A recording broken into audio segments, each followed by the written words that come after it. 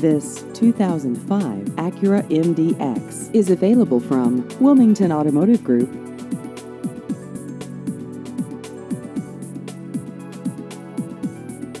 This vehicle has just over 84,000 miles.